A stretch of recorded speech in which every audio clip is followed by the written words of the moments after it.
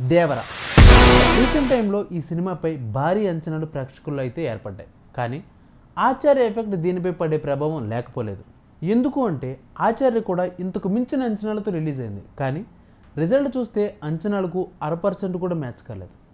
మళ్ళీ అలాంటి తప్పులు చేస్తే మాత్రం కొరటాలకు ఇదే చివరి సినిమా అయిపోతుందని సినిమా అభిమానులు అయితే చాలా ఫైర్ మీద ఉన్నారు. ఇక సినిమా విషయాన్ని పక్కన పెడితే రీసెంట్గా దేవరా నుండి చుట్టుమల్లె సాంగ్ వచ్చింది. ఆ సాంగ్ గురించి చెప్పాలి అంటే టు బి ఫ్రాంక్ నాకు నచ్చలేదు. నాకు ఎన్టీఆర్ గారి సాంగ్స్లో ఫేవరెట్ లిస్ట్ చాలానే ఉంది. కానీ మరీ చిరాకు తెప్పించిన పాటలు మాత్రం లేవు. ఒక్కటి కూడా లేదు.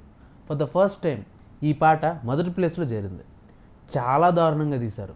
ఈ సాంగ్లో డైరెక్షన్ కొరియోగ్రఫీ మ్యూజిక్ ఇలా ఒక్కటి కాదు అన్నీ చిరాకు తెప్పించాయి. ఎన్టీఆర్ ఫ్యాన్స్ ఉంటే హట్ అవ్వద్దు ప్లీజ్ అర్థం చేసుకోండి. ఫ్యాక్ట్ ఒప్పుకోవాలి. నిజమే కదా? ఎన్టీఆర్ గారు చేయాల్సిన మూమెంట్స్ అవి? కాదు కదా. టెంపర్లో బీచ్ సాంగ్ ఉంటుంది. అది ఎంత బాగుంటుంది? పోనీ ఈ సినిమా ఏదైనా పురాతన కాలం నాటిదా? కాదు. ఇక ఇద్దరు జోడీ విషయానికి వస్తే నా భూతో నా భవిష్యత్. ఇది నిజం. ఇందులో ఏ మాత్రం డౌట్ లేదు. ఎన్టీఆర్ గారికి జాన్వీ కపూర్ పర్ఫెక్ట్ జోడీ కాదు. ఈ పాట చూస్తే నాకు అదే అనిపించింది. మరి సినిమాలో ఎలా ఉంటారనేది తెలియదు బట్ ఇప్పుడైతే ఈ పాటలో మాత్రం నాకు నచ్చలేదు. ఇంకా ఈ పాట విన్నప్పుడు నా మైండ్లోకి వచ్చిన పాట అయితే ఇంద లంగమ్మ దవట్టేనా హుర్రు పెమ్మక్క పట్టలేనా? విన్నారుగా? అదే సేమ్ అదే వినబడుతుంది. ఇంకా కొరియోగ్రఫీ అయితే అబ్బో ఆస్కార్ లెవెల్.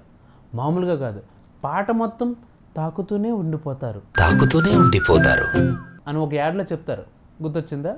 ఫ్లెక్సోనా అంటూ ఒక యాడ్ ఉంటుంది కదా అది. ప్రస్తుతం ఈ పాట పైన నా ఫీలింగ్ మరి మీరు కూడా అదే ఫీల్ అయితే కిందన ఫ్లెక్సోనా అని కామెంట్ చేయండి. బట్ ఇండియర్ ఫ్యాన్స్ నేను ఎన్టీఆర్ గారికి అపోజ్ కాదు. అది ఆయనకు పర్ఫెక్ట్ కాదు అని చెప్తున్నాను.